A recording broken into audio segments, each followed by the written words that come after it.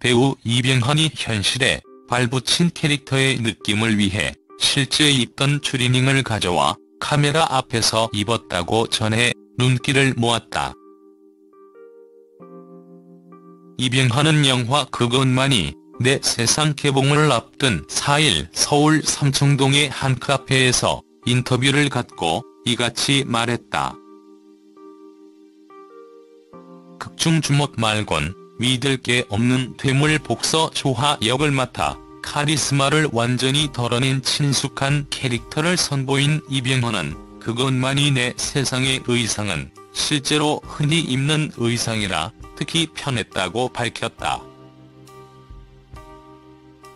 그는 의상팀도 해진 느낌을 내서 입히지만 실제 내가 오랫동안 입었던 추리닝 바지나 반바지, 티셔츠 등이 어찌 생각하면 진짜 그 느낌이 나는 것 아닌가. 집에 있는 신에서는 실제 제 옷을 가져와서 입곤 했다고 귀띔했다.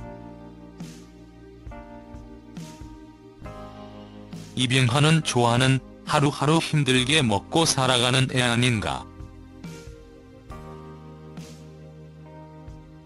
만화방에서 숙식하면서 전단지 돌리고 운 좋게 아르바이트 하면 스파링 파트너로 돈을 버는 처지다. 외모에 전혀 신경을 안 쓸 거라고 생각했다며 감독과 상의해 캐릭터의 외양을 만들어갔다고도 설명했다. 그렇게 탄생한 것이 옆머리와 뒷머리가 덥수룩한 조하 특유의 헤어스타일.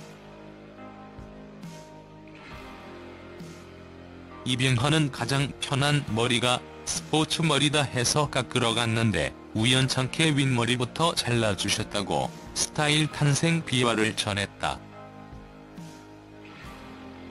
이병헌은 그 모양새가 나쁘지 않았다. 윗머리가 짧고 뒷옆머리가 남아있는 것이 왠지 모르게 조화 같았다. 셀카를 찍어서 감독님에게 보냈다. 조화입니다. 하시더라 거기서 결정이 났다고 덧붙였다.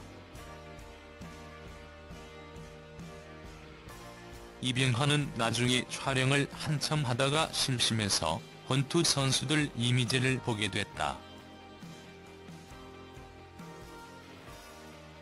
박종팔 선수가 예전에 그 헤어스타일과 똑같은 스타일을 하고 있더라라며 내가 본 듯하다 생각했던 게 박종팔 선수였나 생각도 했다고 덧붙였다. 한편 이병헌의 신작 영화 그것만이 내 세상은 한물 간 전직 복서 조아가 17년 만에 헤어진 엄마 인숙, 서번트 증후군 동생 진태를 만나 벌어지는 일을 담은 휴먼 드라마다. 영화는 오는 17일 개봉을 앞두었다.